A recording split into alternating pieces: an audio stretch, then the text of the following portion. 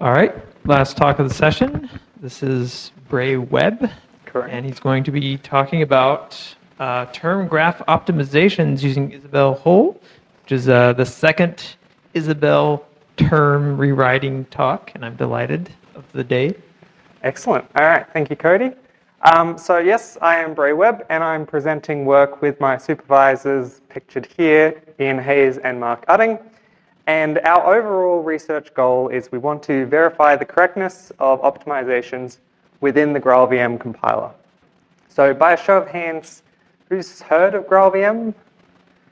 Way more than I expected. Okay, so we're still going to go over, introduce it, um, and then using that background, we're going to motivate why we might want to um, verify specifically the optimization passes of GraalVM, and then overview the specific contributions of this paper towards that big overarching goal.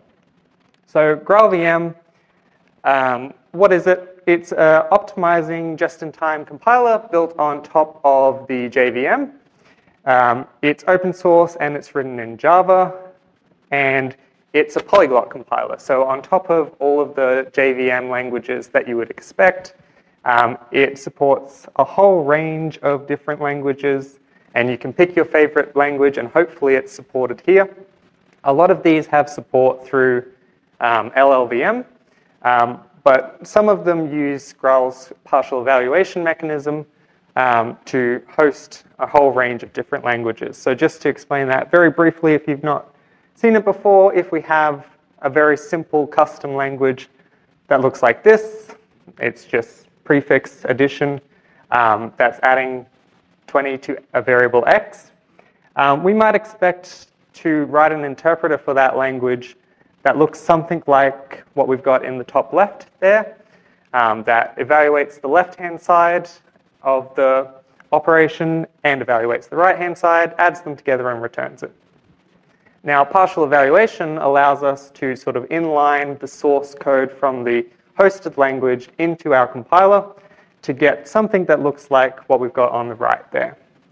Um, so that corresponds to what you might write in Java to implement this program.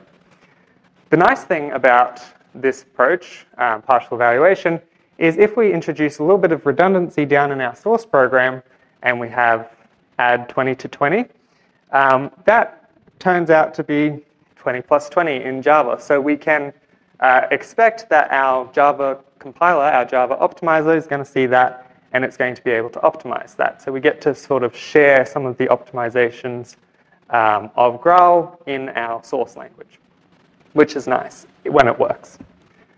Um, some other notable features of GraalVM that make it particularly appealing and interesting to people is that it's got ahead of time compilation support which is useful if you're doing cloud computing because you want that quick startup.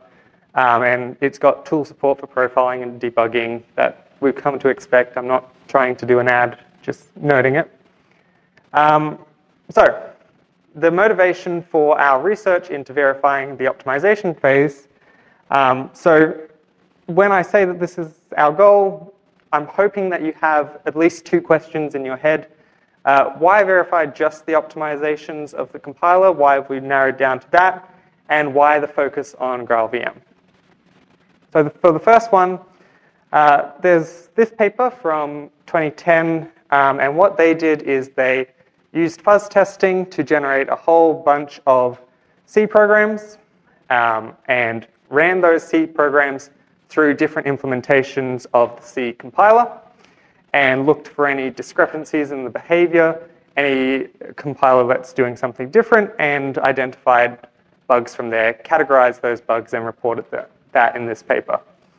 And what they found was that in GCC, of the 79 bugs that they found, about 75 of them were in the optimization phase of the compiler, so 90%. And in Clang, where they found 202 bugs, 183 of them were for from the optimization phase. So it's a particularly bug-prone part of the compiler. Um, and I'm sure you're all wondering, what about CompCert? So there's the CompCert number. So two overall, zero in the optimization phase, but those two were in unverified components of the compiler, which were later verified. So we're going to chalk that one up to a win for CompCert. so why verify GraalVM? We've got a whole list of reasons here. It's got a comprehensive optimization suite. That just gives us a bunch to play with. Um, it is being actively developed, which means that we get to work with the Graal development team to find out what they need from us, how we can integrate our work, how we can help them. Um, and they're a very research focused team, so they've got a whole bunch of publications on what they do in Graal, and they implement the latest from POPL conferences. Um, it is becoming more widely used, um, so big companies, Facebook and Twitter, are starting to use it, um, partially because of its uh, native compilation and a whole range of other features. Um, and number four is that hosted language partial evaluation feature. The hosted languages really do rely on the optimizations. Otherwise, they'd be pretty useless because they would not be at all comparable with tailor-made compilers for the hosted languages. They'd be slow, they'd be sluggish, so they need to have optimizations. You can't just flip them off. Um, and those optimizations need to be correct.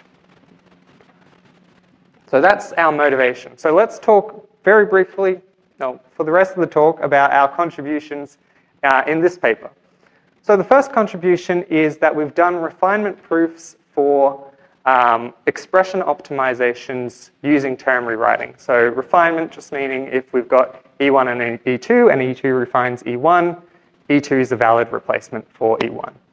Now, we've done it via term rewriting, which seems obvious, but I'll just explain a bit about why it's not. So we've got very simple expression here, and Compilers 101 would have taught you this looks something like this when represented in a compiler. Just a simple abstract syntax tree.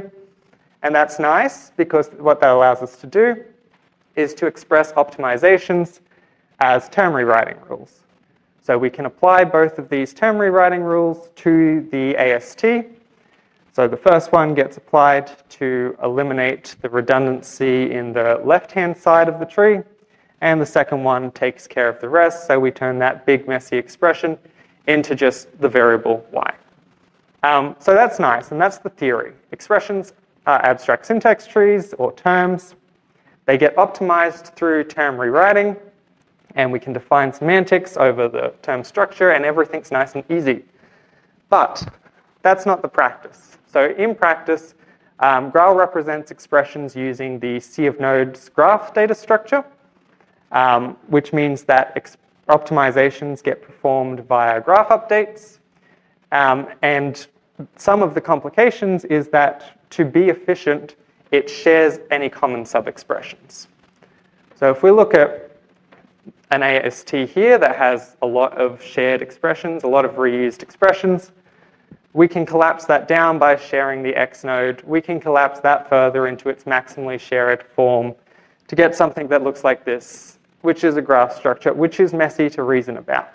So what we found in our earlier work was we defined the semantics and optimizations as graph rewrites, um, and they were difficult. They were tricky, and we didn't like them very much. So for these four um, rules that are really quite straightforward, um, sorry, five rules, uh, we had to have 58 lines of proofs to show that they're correct. Um, and that may be because we're not total Isabelle experts, which is fair, um, but it's still much more complicated than we needed. Okay? So the reason, or part of the reason for this is that graph updates can affect anything that shares it. So you're not just optimizing in isolation, you're optimizing sort of in a context where we can introduce cycles and we, we can have self-reference. So what that might look like here is if we have two seemingly equivalent sub-expressions, E1 and E2, and we replace them, that should be fine on its own. They're equivalent sub-expressions. But if E1 directly or indirectly references itself, which is perfectly valid for the graph structure, um, we get a whole bunch of complications. So we have to give an inductive proof that just says it's fine. It's semantically, so, so of course, yes, yes, yes. Um, which was more tricky than we needed. So instead, in this paper, we sort of stepped through extract, abstracting the graph representation into a term representation and a little preview of how we approach that. So pretending you've got a IR graph structure, um, if you take the root node of a subexpression n, then this says that that root node represents the expression of the term e. Okay? And then we can define uh, evaluation semantics on that expression. Given a method context C, the expression E evaluates to a value V. Then we can go ahead and define refinement.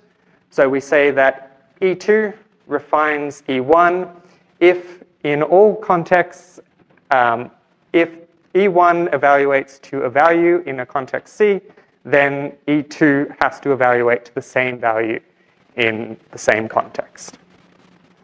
Okay? And that gives us this, which is sort of the reason that we're allowed to lift all of our term rewriting optimizations to the graph level.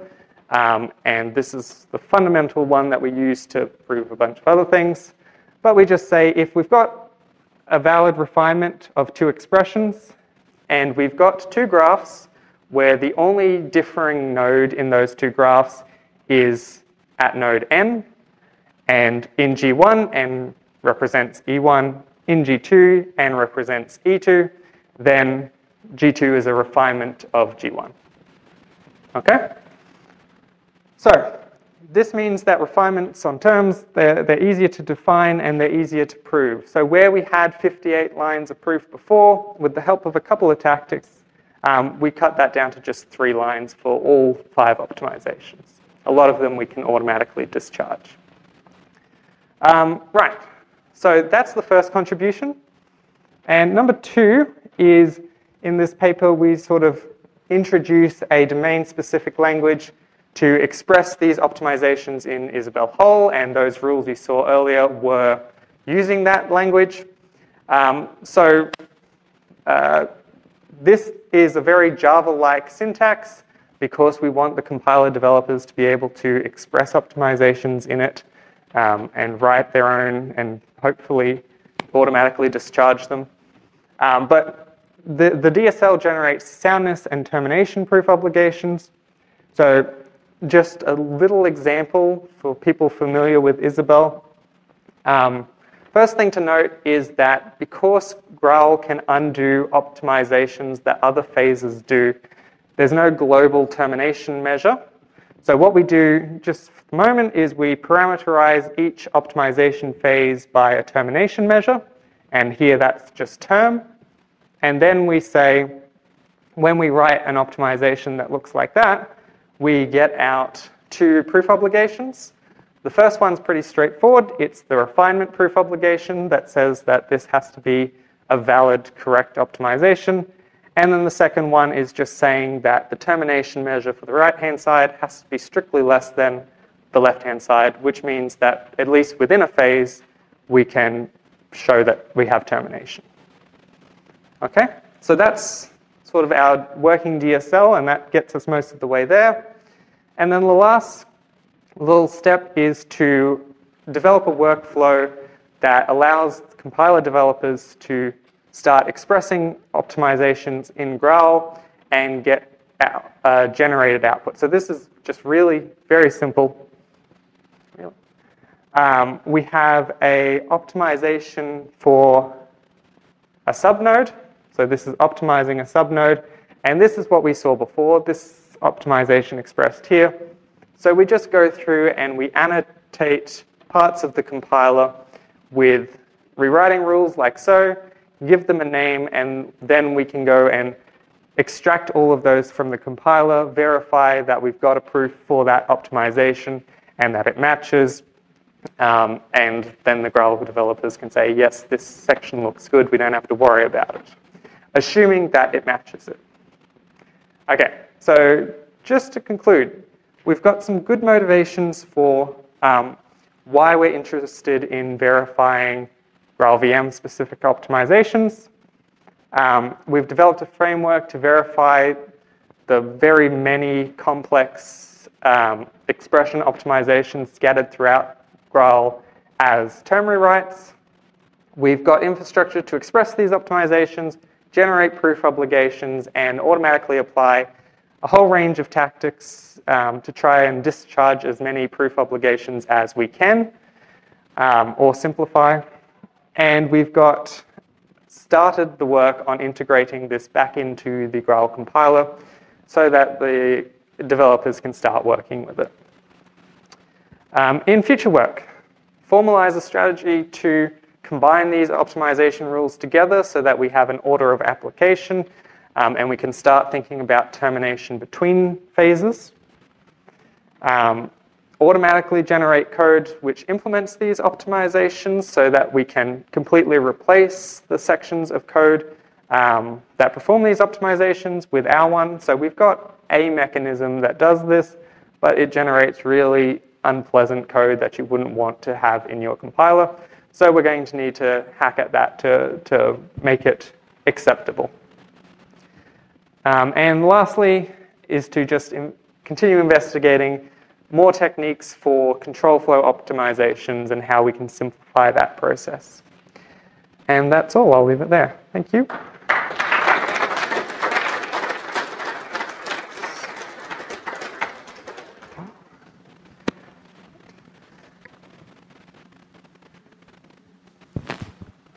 Okay, we're once again in the incredibly lucky situation of being early. So, uh, are there any questions?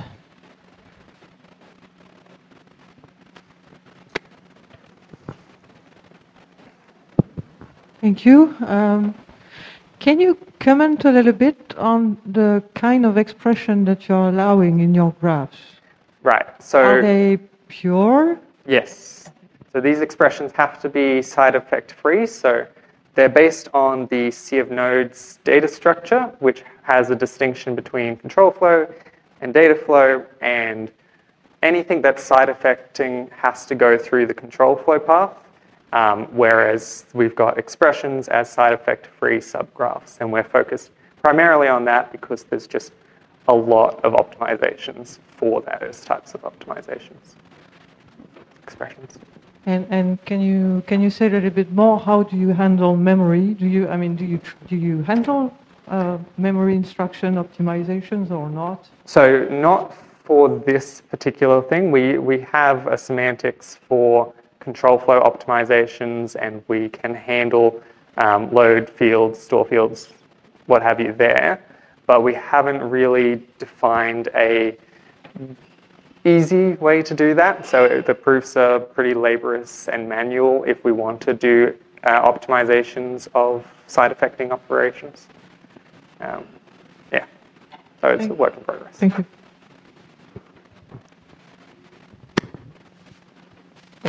Other questions?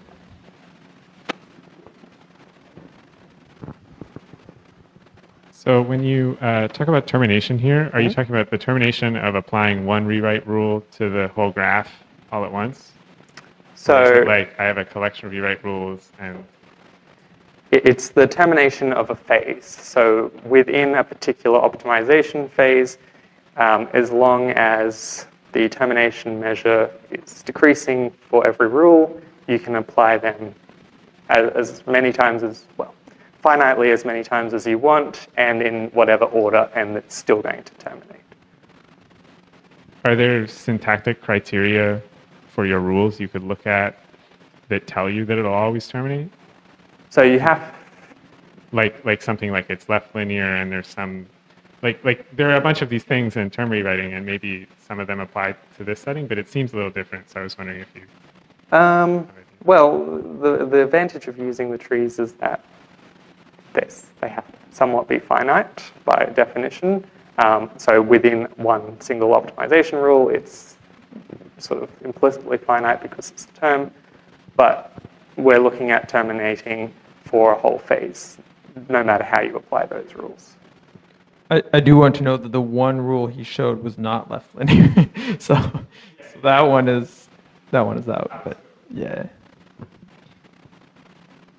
Um, I actually have a quick question. Um, th- this seems pretty non-GraalVM specific. Could you imagine building this into its own tool where it's like, hey, give us your term rewrite rules. We'll optimize it into this maximally shared tree, and then we'll do all your optimization passes for you, and here's a very convenient library in Yeah. some somewhat inconvenient language. So certainly, um, the fact that we have abstracted it into this tree-based representation means that it is fairly generic.